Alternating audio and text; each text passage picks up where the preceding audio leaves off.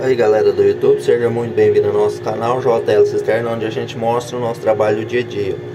No vídeo anterior, né, ontem eu mostrei aqui, ó, que a gente começou a aprofundar uma cisterna de 28 metros de profundidade que secou. O nível da água tava até aqui, ó. Olha o sinal onde tava. E calçado de manilha até ali, ó. A água tava até aqui. E secou essa água e deu uma mina muito grande aqui. Mas veio secar devido às fortes secas que está tendo aqui na região. Tem quase cinco meses que não chove aqui. Aí ó, tem que cavar e descer na manilha junto, porque aqui é mole. Na época que eu cavei aqui, é, tava começando a soltar os barrancos, que é muito mole, que também tava nascendo água, né? Então, devido o material ser muito mole, tava soltando barranco, então eu tive que calçar. Mas esperou eu terminar de cavar, eu cavei Tava soltando uns pedacinhos bem pequenos, assim que eu terminei de cavar, eu coloquei as manilhas, desci as manilhas aqui, ó. Agora, eu vou explicar pra vocês.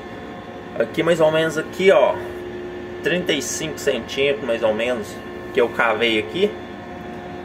E eu comecei a cavar aqui rente e aqui eu abri um pouco, abri pra fora, porque a manilha aqui dá 1,10 de diâmetro por fora e 1 metro de diâmetro por dentro aqui, ó.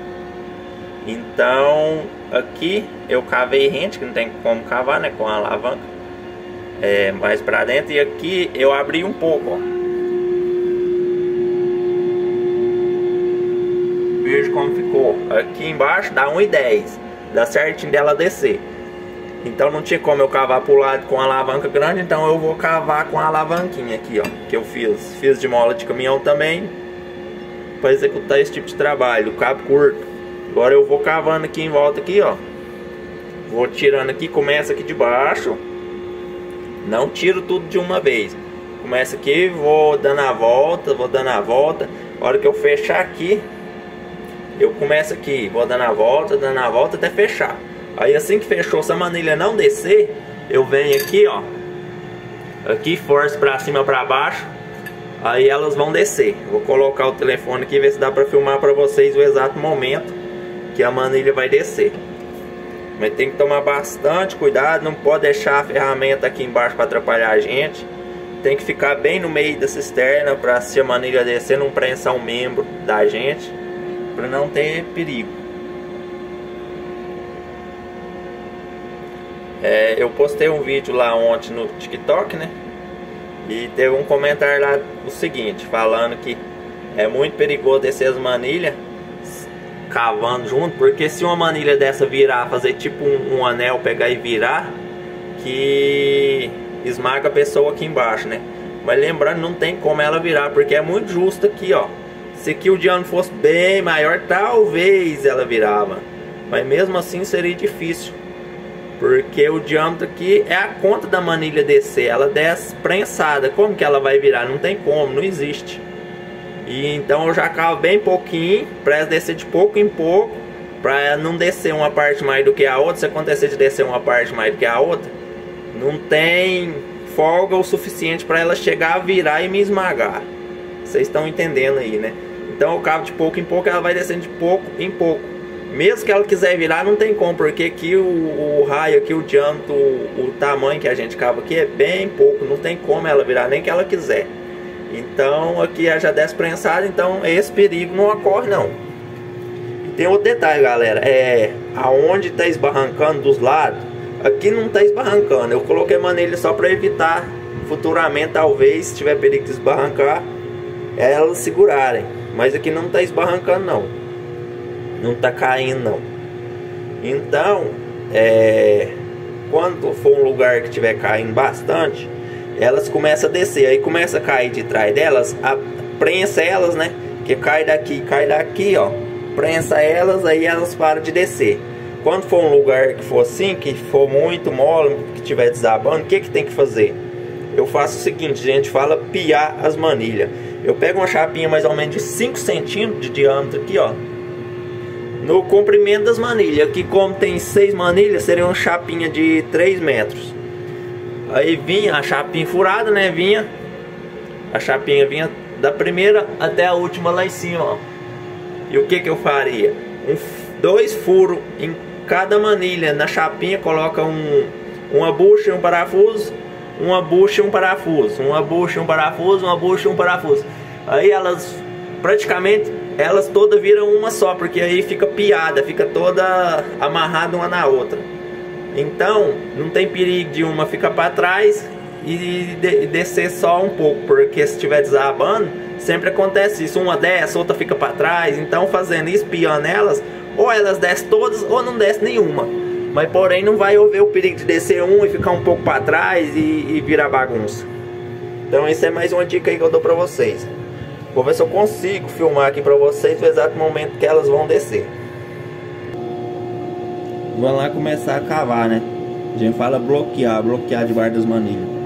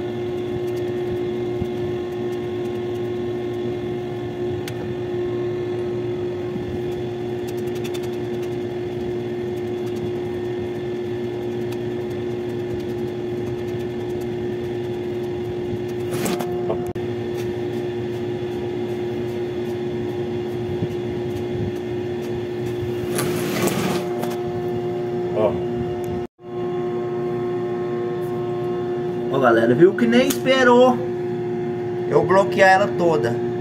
Nem esperou, vocês conferiu aí, ó. Ao vivo. No exato momento que aconteceu, ó. Elas nem esperaram eu bloquear tudo. Vocês viram que ela desceu assim que eu comecei a bloquear. Eu tava quase fechando aqui o anel aqui. A primeira bloqueada por baixo. Depois eu via vir tirando o restante que faltava um, uma quantidade assim, mais ou menos 5 centímetros para acabar de tirar para chegar nelas, para elas descer. Vocês viram que devido ao peso, 6 manilhas, elas pesam 170 kg cada uma. Devido ao peso e aqui o solo ser bem macio, elas próprias com o peso cortou o restante e desceu sozinha. Nem esperou cortar o restante. Para vocês verem que tem que ficar bem atento e não deixar nenhum membro debaixo das manilhas, nem pé, nem mão, nem ficar encostando as costas na manilha, porque elas descem de repente, a gente nem não vê. A hora que eu comecei a ver que elas começou a descer, eu parei de cavar e fiquei bem no meio quietinho para elas acabarem de descer. Mas ocorreu tudo bem, graças a Deus. Aí como que é. Vocês veem que é bem dificultoso, então a gente tem que cavar mais ou menos 40 centímetros, fazer esse processo, mais 40 centímetros, fazer esse processo novamente. Então não é fácil. Então a gente ainda consegue tirar um tempinho, filmar e mostrar aí pra vocês, passando essas dicas aí. Que eu creio que nenhum, nenhum canal no YouTube passa esse tipo de trabalho aí, com tanto detalhe como a gente tá passando aí pra vocês. Então vale a pena curtir, se inscrever aí no canal e dar uma força aí, ajudar o nosso vídeo a chegar ao máximo pessoa possível. Que é bastante conhecimento bacana aí. Beleza, galera? Desde já, já agradeço a todos aí. A gente estamos chegando a 50 mil inscritos. Agradeço a Deus e vocês, meus apoiadores aí. Curte, compartilhe, se inscreva aí. Desde já agradeço a todos. Então aqui vocês viram como que é. Que as maneiras descem.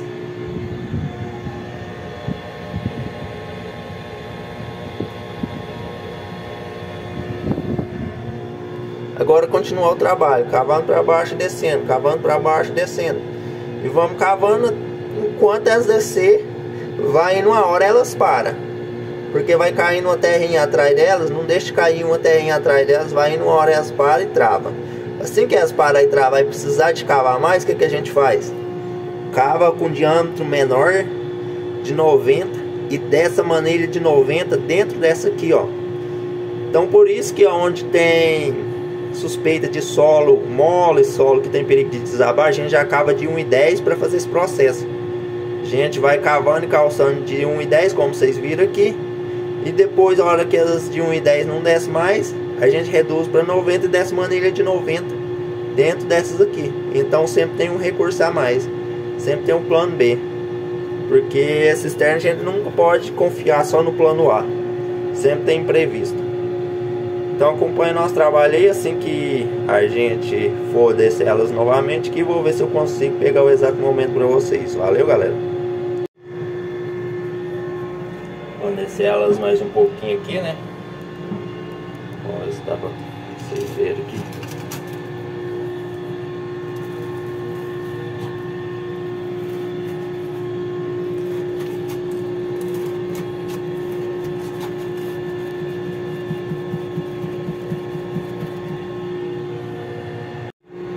Aí galera, cavando aqui ó, aprofundando aqui.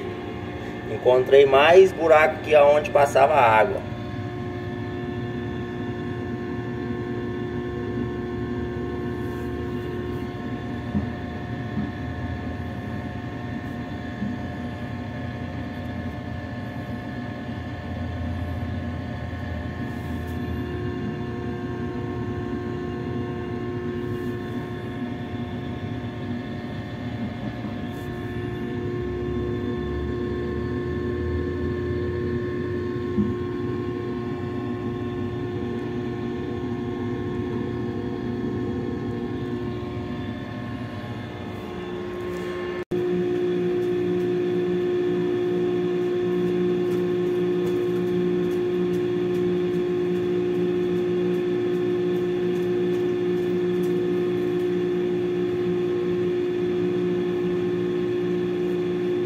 um pouquinho.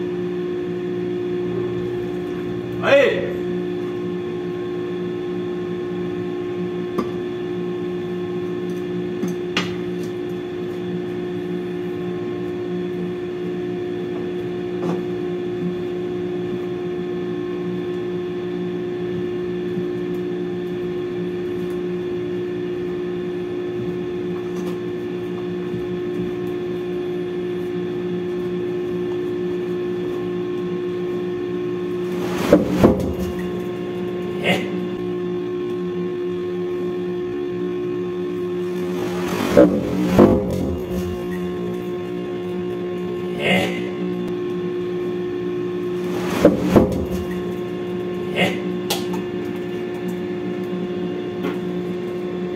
Aí galera, acabou de descer as manilhas, né? Desceu mais ou menos quase meio metro agora. E eu furei bastante. E elas desceu muito agora. Agora é só catar o material aqui do fundo. Cavar mais. Já tem que instalar a bomba para fazer o bombeamento de água, que já está produzindo água. Para poder tá, continuar furando aqui. Então assim que a gente for achando as minas de água, eu vou estar tá filmando e mostrando aí pra vocês.